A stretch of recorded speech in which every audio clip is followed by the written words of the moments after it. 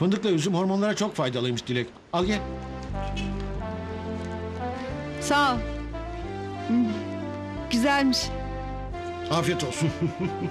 Gözleri parlatıyormuş. İnsanın kanını kaynatıyormuş.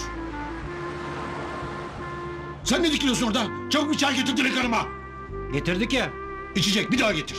İçecek misin Dilek? İçerim tertip verirsen sağ ol. Duydun mu fırla çabuk. Getiriyoruz. Amcam yok diye bize burada işkence yapıyorsun. Gelsin söylemezsem. Söyle. O yokken patron benim bu dükkanda. Anladın mı? De. Sen de fazla yükleniyorsun ama çocuğa tertip. Çalışsın işi o. Ne güzel babam hep öyle oruç tutsa. Biz de fındık fıstık yiyip öyle konuşsak. Hayal mi görüyorsun tertip? Kim para kazanacak? Kazanırız ne var? Buyur Dilek. Buyur Dilek. Öyle möğ gibi küt diye konulmaz. Anladın mı? Tertip güzel konuş benimle bak. Ne yaparsın? Git aşağıdan bana İngiliz anahtarını getir. Getirmiyorum. Ne dedin? Hain. Tamam kovuldun. Git buradan çabuk. Gitmiyorum. Sen de çok oluyorsun ama tertip. Ne yapacaksın şimdi İngiliz anahtarını? Lazım. Getirecek. O bir işçi. Ne dersen bunu yapacak. Allah Allah. Evet. Babam yokken burada kararları ben veririm. Hah, inşallah amcamdır. Söylemezsem. Söyle sen söyle. Efendim. Alo. Kim arıyor Dilek?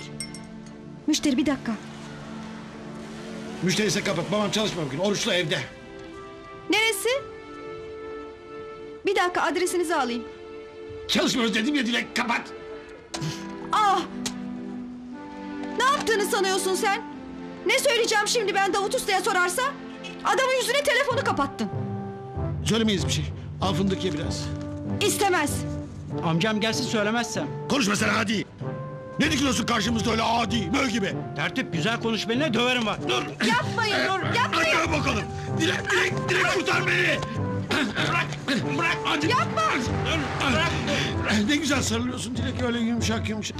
Al. Hah, usta geldi. Ne oluyor yine astınız mı? Derdim üstüme yürüyor baba. Dövecek. Küfrediyor amca.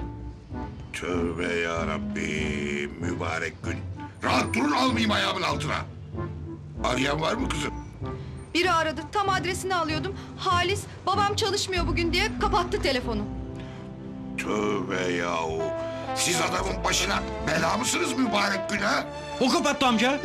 Sus şikayet yok. Ne zaman şuradan biraz ayrılsam hemen kavga gürültü. He? Ah!